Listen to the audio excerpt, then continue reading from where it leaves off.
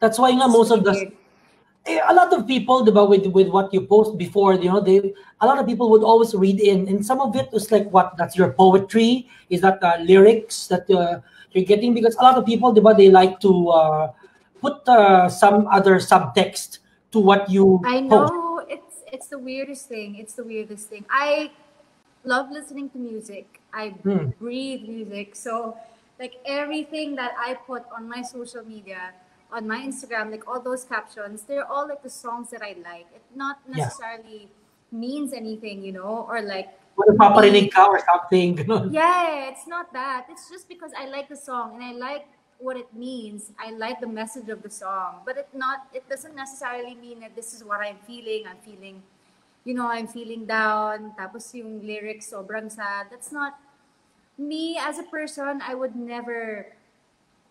Parang.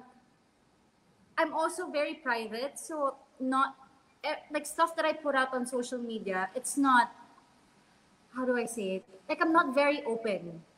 Yes. So Does that it's make not sense?